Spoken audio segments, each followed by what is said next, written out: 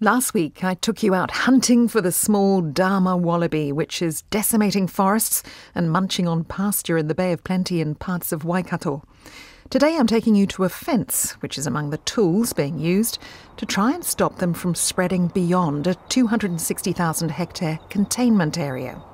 The fence doesn't encircle the whole area, that'd be a mammoth task and expensive, but it's hoped natural barriers like rivers and lakes will also do the job.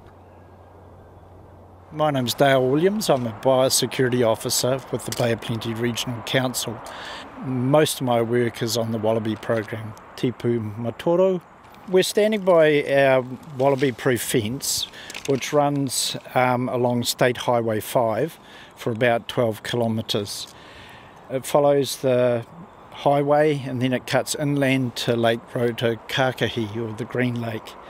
Um, so you can see the fence looks pretty much like a standard farm fence, um, though it's got netting uh, which is quite tight at the bottom. It comes in and lays flat on the ground for 30 centimetres. And that's based on the fact that wallabies won't try to jump over a fence, they'll try to push through it or underneath it. There's still two reasonably large gaps where we had to wait for the um, timberlands to harvest their pine trees, so that's happened now. So our intention is to complete those two areas through the clear fell. Now, what is the purpose of the fence? So there's a large number of wallabies north of State Highway 5 in Whakarewarewa Forest. Um, there are wallabies to the south of the fence, but m- many fewer. So by having the fence in place, it means that we can st- start controlling the wallabies outside of the fence, south of State Highway 5, and they won't be repopulated from wallabies from Whakarewarewa Forest. And how effective is it? What are you seeing? A couple of weeks ago, I was riding my e bike along the fence, checking the integrity of the fence, and I managed to flush a wallaby out of the broom on the highway side of the fence.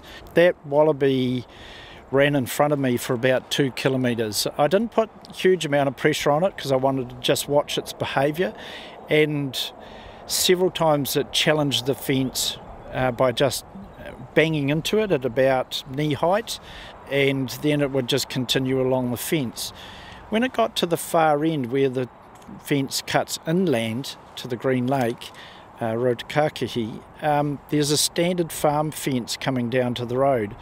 And the wallaby went through that with barely slowing down. So it, it shows you that they can push through a fairly small gap, and hence the reason the netting is quite tight on the bottom of this fence. How are you monitoring the flow of, of wallabies and the numbers within this area and outside? Where we are at the moment is inside our containment area. So, one of our key goals is to stop wallabies expanding their current range. So, wallabies that are outside of the containment area are our highest priority for control. So, we're, we're not currently doing any control here, but we want to do um, control in the Waikite Valley, uh, Range, which is south of us here. So that will enable us to do that work and not have them uh, repopulated from here. Ultimately, the goal is elimination of wallabies from the Bay of Plenty and Waikato regions, but that's going to be years down the track. So, at, at the moment, first priority, stop further spread. Second priority, to eliminate populations that are outside of the containment area. Then we will start working from the outside edge, working inwards with the ultimate goal of eradication. And outside the fence, how's it going? What are you seeing? Yeah, we're, we're getting very good at reducing numbers to ones and twos, but it's getting those last few animals that's really quite tricky. And, and that's the same with any eradication operation. Um, it's often the last one or two animals that take a huge amount of effort and cost. We've spent a lot of time and effort on surveillance, working out where wallabies are, how far they have spread. We are gradually um, starting our control program. And what does the control involve? Our most effective control tool is um, 1080. Um, any bait laid directly on the ground, um, and 1080 is one of the few pesticides that we are allowed to lay on the ground is really effective at controlling wallabies. But as you know, um, there's a lot of public concern about 1080, so getting that social licence to carry out those operations does take time um, and quite a lot of consultation effort goes into that. And what about shooting? Shooting's really effective on farmland. Recently, there's been tools like um, night vision and thermal scopes. That's been a real game changer because animals who are exposed to shooting a lot, um, the survivors get what we call light shy. So they see a spotlight being flicked around the forest margin and they, they disappear. They go back into hiding pretty quickly. In your view, what are the challenges going forward? Do you think you will be able to eradicate the wallaby from this area and stop it spreading? Yeah, well, the challenges are we, we have very few tools. In the pesticide area, for instance, there's a large number of pesticides registered for rodents. There's a good number of pesticides registered for possums. We only have two pesticides registered for wallabies, and that's cyanide 1080. So one of the downsides is that both those poisons are very effective, but they, they are fast acting. They're what we call an acute pesticide. And the downside of those is that if an animal eats a sublethal dose, it's highly likely to remember what it's just eaten and become what we call bait shy. Cyanide's the worst for that, and we've just um, done some research where we've um, recorded photographs of wallaby eating cyanide, collapsing, lying on the ground for 20 or 30 minutes, and then sitting up and hopping away. So you can almost guarantee that those animals won't go near uh, the bait, a bait station, a lure at all. They, they'll remember that bad experience and stay away.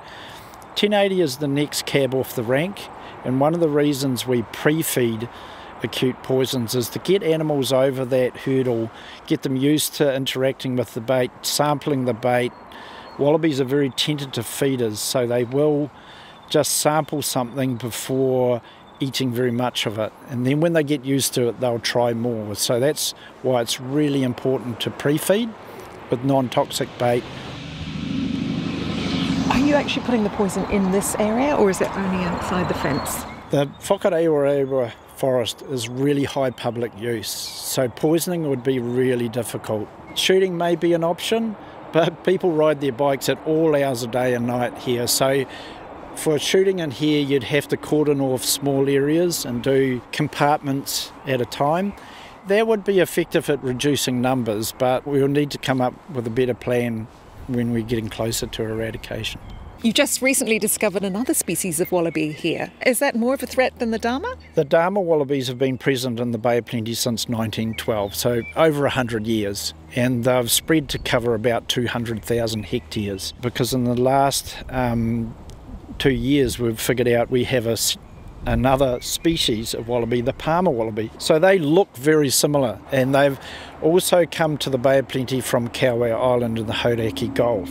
And you think, well, so what? You've got another wallaby, similar size, but their behaviour is quite different. They are solitary, they have no desire to come out of the forest to feed on pasture. As a result of that, they're much harder to shoot. And in terms of pesticides, we just don't know. Do you have any idea what proportion are Parma? No, we don't, to be fair. Um, we think they were illegally liberated in the 1990s, and we think the liberation site was somewhere south of Lake Rotoiti. Around that area, they may be as high as 20 or 30% of the population, but we, we have no idea how far they've dispersed. So now you've got this added problem, another species. What do you need to try and deal with the issue? I guess cooperation from, from landowners. To achieve eradication, we need access to all land of all tenure.